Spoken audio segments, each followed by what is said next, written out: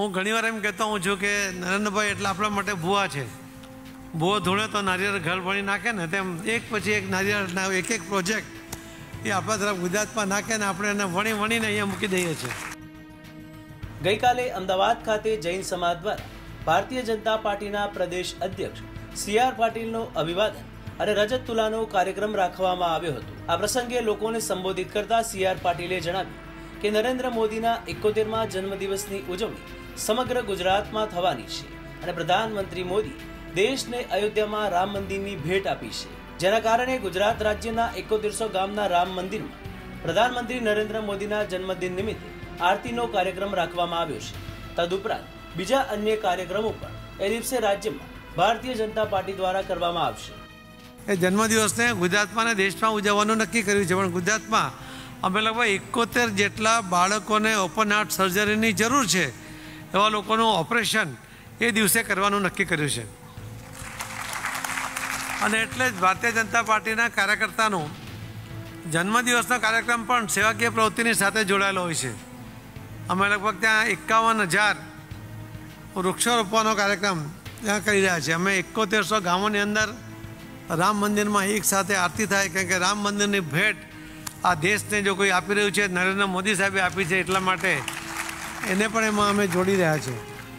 આવા અનેક વિશિષ્ટ વિશિષ્ટ કાર્યક્રમો સાથે અમે એક રેન વોટર હાર્વેસ્ટિંગ બનાસકાંઠામાં તો ખાસ કરવા જેવું છે, સાબરકાંઠા, બનાસકાંઠામાં. એ તો પ્રોજેક્ટ લઈને કરો. તો એ પ્રોજેક્ટને પણ અમે આની સાથે જોડીને મોદી સાહેબને કરી રહ્યા છીએ.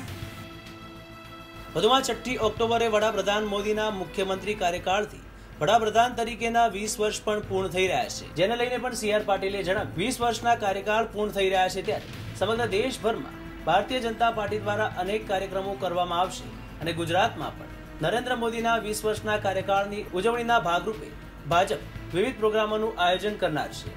વધુમાં આ પ્રસંગે સી આર પાટીલે નરેન્દ્ર મોદીને ભુવા તરીકે પણ સંબોધ્યા હતા અને જણાવ્યું હતું કે ઘરનો ભૂવો હોય તો એક નાળીએ ઘર તરફ જરૂર વધુ ફેંકે. છઠ્ઠી ઓક્ટોબરે નરેન્દ્ર મોદી સાહેબને મુખ્યમંત્રીથી પ્રધાનમંત્રી સુધીના વીસ વર્ષ એ છઠ્ઠી ઓક્ટોબરે પૂરા થાય છે. તો તે દિવસને પણ આખા દેશમાં અલગ અલગ કાર્યક્રમો યોજવાનું આયોજન ભારતીય જનતા પાર્ટી તરફથી નક્કી થયું છે.